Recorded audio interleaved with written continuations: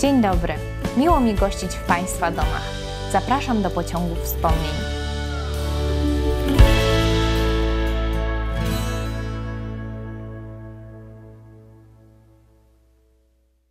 Ponownie wracamy do newsów sprzed 30 lat. Wprawdzie zapowiadaliśmy, że w, w kolejnych audycjach sięgniemy do czasów nam bliższych. Jednak stwierdziliśmy, że przypomnimy wiadomości z 1994 roku aż do ich wyczerpania, a następnie przeniesiemy się do czasów nam bliższych. A dziś o problemach ze spółką Jarpol, którą utworzono na terenach dawnej rosyjskiej bazy paliw. Wspomnimy o ukończeniu budowy szkoły podstawowej nr 7. Będzie też o wyborach samorządowych. Telefon w tamtym czasie był czymś luksusowym. Telefon stacjonarny rzecz jasna. Wspomnimy uruchomienie kilkuset nowych numerów, które było w tamtym czasie ogromnym wydarzeniem. Były też inne wydarzenia, a zatem wspominamy. Dobry wieczór. W tygodniowym przeglądzie wydarzeń 9 maja witam Państwa Angelika Riabinow. Kolejna ważna data historyczna minęła w Szczecinku bez echa. Chodzi oczywiście o 49. rocznicę rozgromienia Niemiec hitlerowskich, w czym bardzo duży udział mieli żołnierze polscy walczący na wszystkich frontach II wojny światowej. Brak oznak hołdu złożonych poległym w tamtym czasie oznacza lekceważenie ich daniny krwi i życia. Nie chodzi oczywiście o akademie i przemarsze organizowane w dawnym stylu, ale o zwykły ludzki gest, jak chociażby zapalenie przez, przez przedstawicieli władz miejskich znicza na cmentarzu wojennych, czy też przed pomnikiem poświęconym zdobywcom wału pomorskiego.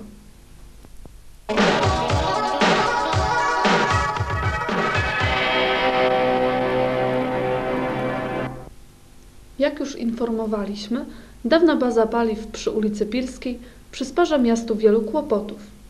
Prowadzenie przez samorządy działalności gospodarczej wiąże się zawsze z dużym ryzykiem. Tak jest i w tym przypadku. Tydzień temu rozmawialiśmy z burmistrzem o kłopotach i problemach z tym związanych. Nie wyczerpaliśmy tematu. Na dziś sytuacja z Jarpolem nieco się zmieniła, aczkolwiek problem nadal pozostaje. Zarząd miasta zamierza zbyć swoje udziały w spółce, zamierza również sprzedać nieruchomości przy ulicy Pirskiej. Wniosek zarządu w tej sprawie skierowany będzie na najbliższej sesji do Rady Miejskiej. W ubiegłym tygodniu zapoznały się z nim Komisja Ekonomiczno-Gospodarcza i Finansowo-Budżetowa Rady. Obie jednogłośnie wniosek zaakceptowały. Zarząd miasta zamierza w ten sposób odciąć się od tego, co się w spółce działo.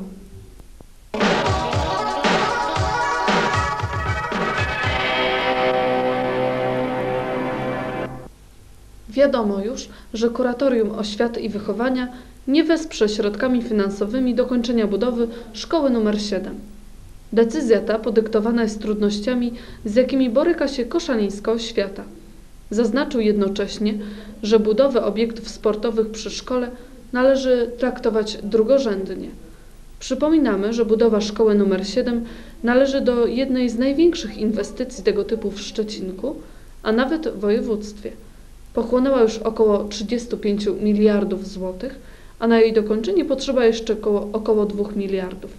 O współudział w, w sfinansowaniu inwestycji zarząd miasta zwrócił się jeszcze w roku ubiegłym, ale nie uzyskał w tej sprawie pozytywnej odpowiedzi.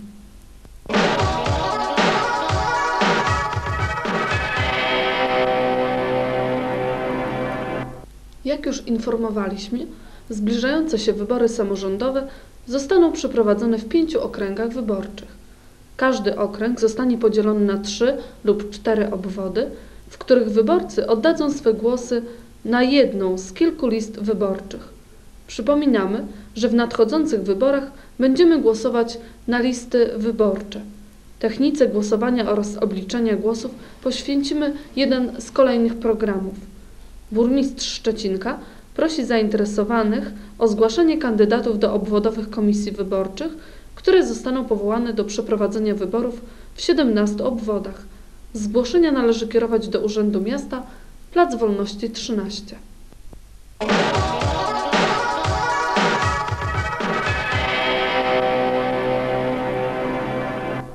Z Galerzen w Niemczech powróciła 25-osobowa delegacja gminy Szczecinek, przebywająca tam z trzydniową wizytą oficjalną. W czasie pobytu w Niemczech został podpisany akt partnerstwa pomiędzy gminą Galerzen a gminą Szczecinek. Akt zakłada nie tylko wymianę oficjalnych wizyt radnych oraz grup reprezentujących poszczególne grupy zawodowe, ale przewiduje przede wszystkim kontakty i współpracę pomiędzy mieszkańcami. Dzięki temu wielu mieszkańców gminy będzie mogło zapoznać się z doświadczeniami rolników niemieckich i odwrotnie. Kierownictwo gminy liczy, że efekty współpracy będą widoczne już w roku przyszłym. Ratyfikacja aktu partnerstwa zostanie dokonana przez obie rady jeszcze we wrześniu bieżącego roku.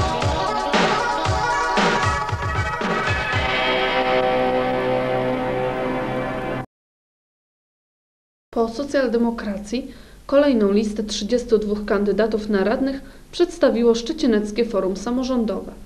Umieszczono na niej 14 nazwisk osób zajmujących obecnie miejsce w Radzie, a także kilka osób z poszczególnych partii tworzących ugrupowanie. Na konferencji prasowej członkowie kierownictwa forum odpowiadali na pytania dziennikarzy związane z przygotowanym programem wyborczym. Telewizja Zachód zamierza udostępnić wszystkim ugrupowaniom czas antenowy na przedstawienie swoich programów i kandydatów. W najbliższą środę konferencję prasową organizuje Socjaldemokracja Rzeczypospolitej. Będziemy tam z kamerą. Jednocześnie zapraszamy przedstawicieli komitetów wyborczych do, do kontaktu z naszą redakcją. Dla każdego komitetu przewidujemy przygotowanie półgodzinnej audycji wyborczej, w której zaprezentowany zostanie program wyborczy ugrupowania. Szczegóły w telegazecie.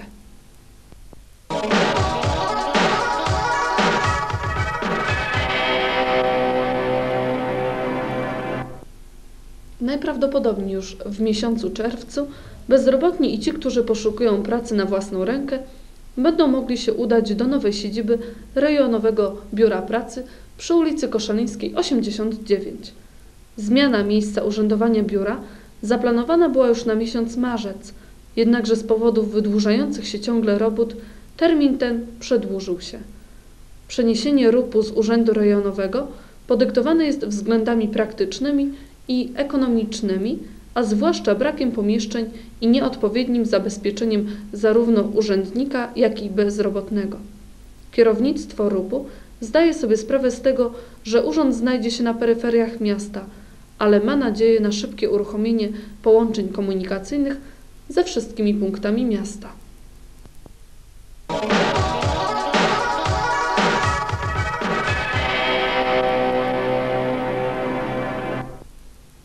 Trakcie sesji budżetowej w dniu 3 marca burmistrz w imieniu zarządu miasta złożył obietnicę pozyskania dodatkowych środków w wysokości 2 miliardów 900 milionów złotych i przeznaczenia ich na potrzeby zakładu budżetowego szkół oraz Miejskiego Ośrodka Pomocy Społecznej. Obecnie powstała szansa częściowej realizacji tego wniosku. W związku z zaciągnięciem kredytu w Wojewódzkim Funduszu Ochrony Środowiska istnieje możliwość zwolnienia kwoty 1 miliarda ze środków przeznaczonych na remont oczyszczalni ścieków i przeznaczenia ich na szkoły i MOPS. W ten sposób również częściowo spełnia się zapewnienie złożone przez burmistrza na sesji w dniu 3 marca, że wniosek ten zrealizuje obecny zarząd. Działanie takie zaakceptowały zainteresowane komisje Rady.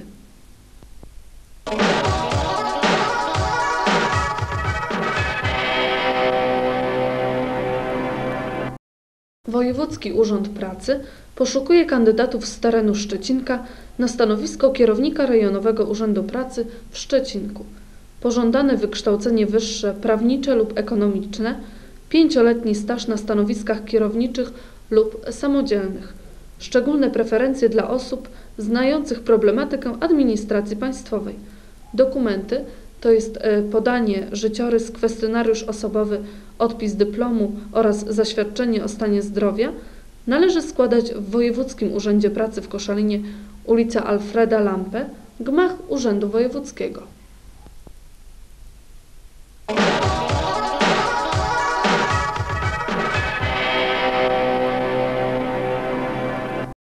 Mieszkańcy miasta starają się sami eliminować niektóre zagrożenia ekologiczne. Tak jest w przypadku ulicy Kasztanowej i Pilskiej. Zakupione przez Urząd Miasta drzewka i krzewy mieszkańcy sami wysadzili wzdłuż ulicy Pilskiej, by dawały ochronę przed niekorzystnym wpływem wzmożonego ruchu samochodowego. Czekamy na kolejne podobne inicjatywy.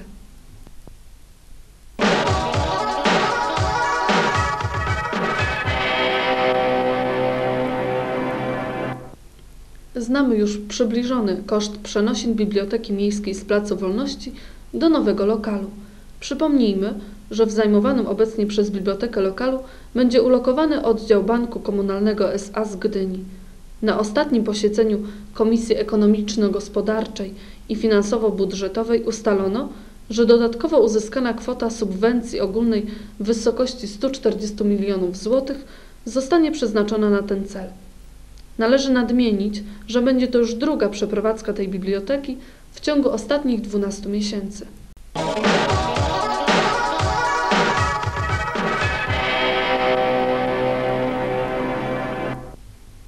Szczecinecki rejon telekomunikacyjny oddał już w tym roku 800 nowych numerów telefonicznych. Do końca roku zamierza uruchomić kolejne 200. Wszystko związane jest z przebudową centrali na ulicy Bohaterów Warszawy. Na telefony będą mogli liczyć mieszkańcy Koszalińskiej, Kościuszki, Słowiańskiej i Bohaterów Warszawy. Podłączenie tych kilkuset nowych numerów nie rozwiąże oczywiście problemów i nie odpowie na zapotrzebowanie, zwłaszcza na szybko rozwijającym się osiedlu Zachód. Na zajęcie tym terenem przyjdzie nam jednak jeszcze poczekać. Na pocieszenie informujemy Państwa, że wskaźniki rosną do jakichś 15 telefonów na 100 mieszkańców.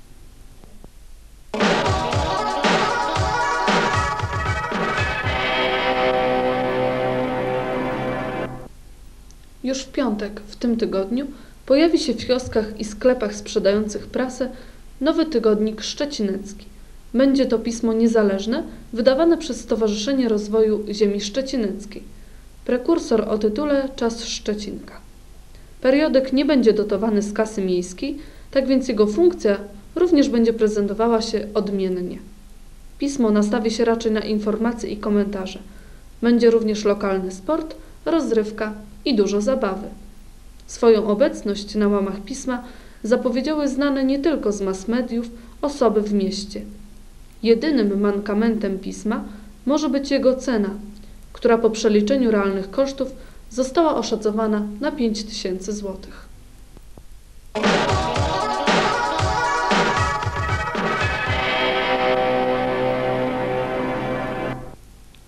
To, że trudno jest zagospodarować mienie poradzieckie, wiedzą nie tylko władze gminy Silnowo, a może już niedługo Borne Sulinowo.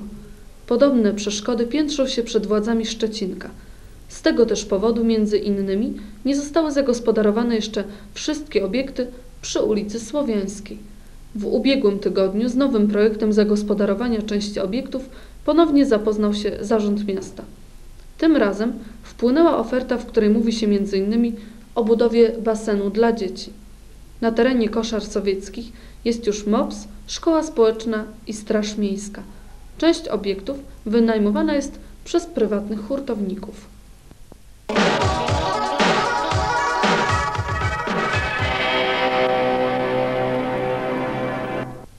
W przededniu 3 maja w klubie garnizonowym odbyło się uroczyste spotkanie Światowego Związku Byłych Żołnierzy AK. Na temat historii Konstytucji 3 maja prelekcję wygłosiła pani historyk Jadwiga Zwierzewicz. Do stopnia sierżanta nominowani zostali członkowie związku przez komendanta Wojskowej Komendy Uzupełnień pułkownika Radeja.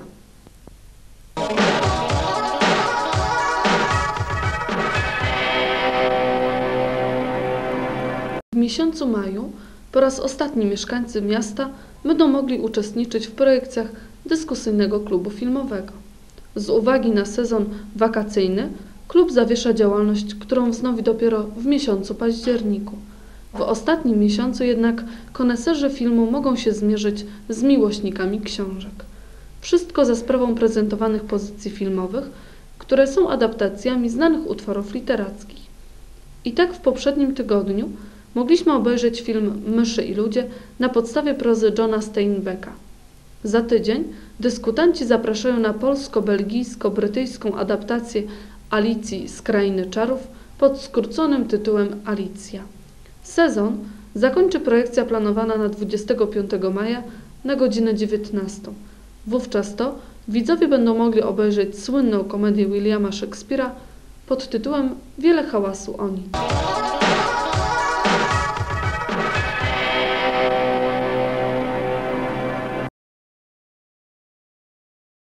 Nauczyciele i zawodnicy zespołu szkół mechanicznych oprotestowali oficjalne wyniki punktacji generalnej szkół w biegu imienia Winanda Osińskiego. Ogłoszono, że zwyciężył zespół szkół rolniczych 33 punkty, przed zespołem szkół mechanicznych 27 punktów. Taką punktację podał komputer obsługiwany przez pana Ryszarda Rusielika. Z wyliczeń na piechotę poczynionych na podstawie przesłanych do szkół wyników indywidualnych wynika, że zespół szkół mechanicznych zdobył 40 punktów, a zespół szkół rolniczych 34 punkty. Z powyższego wynika, że albo komputer był do kitu, albo operator nie potrafił należycie go obsłużyć. Wynik poszedł w świat i jest to kolejna plama dana przez organizatorów w tym biegu.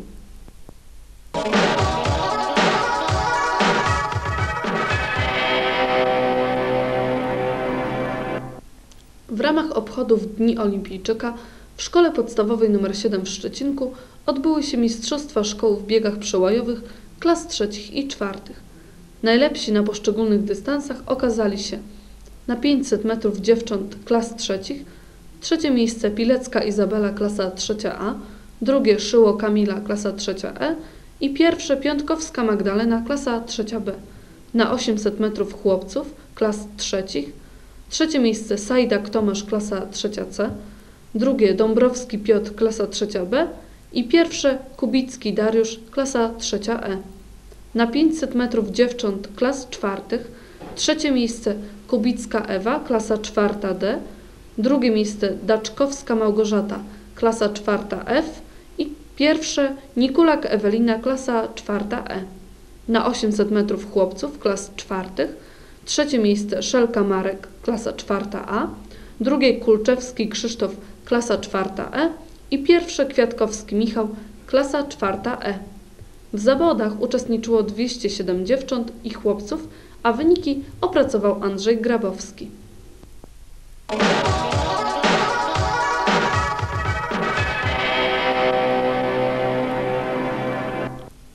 Drugi międzynarodowy turniej młodego tancerza przyszedł już do historii. W turnieju uczestniczyło ponad 300 par z 50 klubów Europy Wschodniej. Międzynarodowe jury, któremu przewodniczył Stanisław Jawor z Poznania, ostatecznie zadecydowało, że w kategorii tańców latynoamerykańskich do 19 lat para Angelika Choroszewskaja i Siergiej Diegatarow powtórzyła swój ubiegłoroczny sukces. W tej kategorii pary polskie nie miały nic do powiedzenia. W pozostałych kategoriach wiekowych w tańcach latynoamerykańskich obok par ze wschodu triumfowały pary z Kielc, Olsztyna i Szczecina. Szczecinecka para Marcin Szuwarski i Ola Lubińska w kategorii do 12 lat zaakcentowała swoją obecność zajmując drugie miejsce. W tańcach standardowych w większości triumfowały pary polskie z, Ol z Olsztyna, Szczecina i Kielc. Tylko do lat 19 wygrali Litwini. O sukcesie par ze Szczecinka można dopiero mówić w kategorii do 10 lat. Wojtek Przernacki i Dominika Zaprzydała nie dali szans rywalom. Turniej był wielkim sprawdzianem organizacyjnym Szczecinka i zdaniem uczestników wypadł bardzo dobrze. Tygodniowy przegląd wydarzeń opracował zespół telewizji Zachód. Ja już się z Państwem żegnam i zapraszam na dalszą część programu. Dobranoc. Na dziś już dość wspomnień. Ja zapraszam Państwa na kolejną pozycję programu Telewizji Zachód oraz na naszą stronę www.tvzachód.pl. Do zobaczenia.